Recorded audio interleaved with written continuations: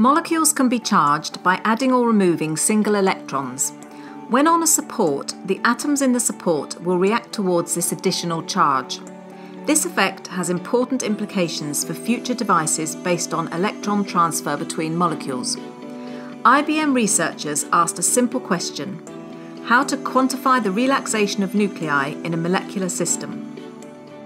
To accomplish such a goal, an atomic force microscope operated at low temperature and ultra high vacuum is employed.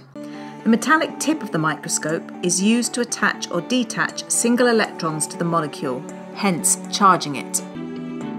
In the experiment, the team observed that a molecule is charged and discharged at different applied voltages. The difference of these voltages is linked to the reorganization energy, it is the energy gained because of the change in the positions of the atoms upon charging. The quantification of the reorganization energy was the aim of the researchers. However, measuring the voltage difference in a single charging and discharging experiment is not enough to quantify the reorganization energy, primarily because of the randomness involved in an individual electron tunneling process. Hence, a new approach was needed. Reporting today in Nature Nanotechnology, the IBM Research Zurich team demonstrates a methodology to measure the reorganization energy.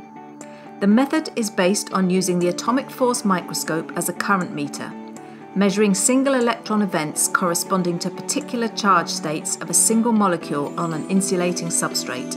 In this experiment, the average time needed to attach and detach single charges as a function of voltage applied is extracted. This allows electronic characterization of nanometric systems on insulators as well as the measurement of their reorganization energy.